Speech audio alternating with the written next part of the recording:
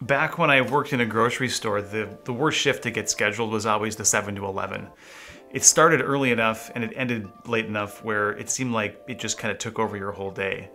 And anything interesting that was going on outside of work was seemed like it was always happening at that time. But I think if 2020 as a year was a shift, it would easily rank as one of the hardest shifts ever worked. And now that we finally have clocked out, it's time to take a look at what we've learned and the forever changes coming out of 2020 for shift-based workplaces.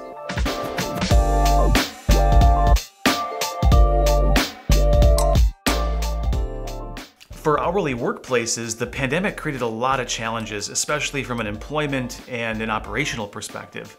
Uh, but many were able to successfully make a shift in how they operate in order to help slow the spread of COVID. And When I Work had the opportunity to help them make that shift. Data played a huge role in helping us understand what was happening. Every year, millions of hourly employees work hundreds of millions of hours across nearly 200,000 workplaces that are running on When I Work. All of this activity, it generates billions and billions of data points that gives us almost a real-time visibility into the ups and downs of employment and operating behavior. We use this data to create an economic benchmark called the Hourly Workforce Index.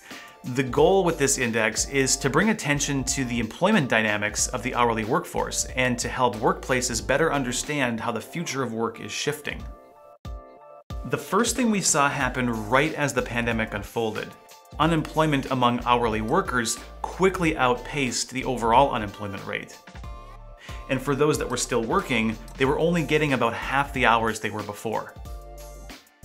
During the same time, the data revealed a change in the way that workplaces were operating. The biggest change? A 10x increase in the use of flexible self-scheduling, particularly in restaurants and retail that have been able to adapt and keep as many of their employees working as possible. BYOD surged as well, and workplaces were able to replace their communal shared time clock with contact-free options. The impact of these trends enabled healthcare organizations to quickly schedule and safely dispatch thousands of workers to COVID testing sites with just a few days' notice.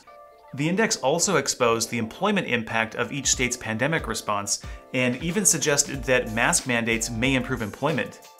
And there was a Goldman Sachs study that found a similar opportunity with GDP.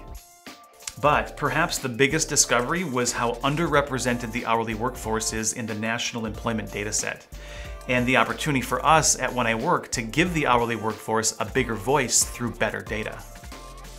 Overall, 2020 cemented what was already underway, and the Hourly Workforce Index revealed that workplaces that embrace flexible self-scheduling, mobile first, and a safe, empathetic work environment create happier, more productive, and more fulfilled hourly teams.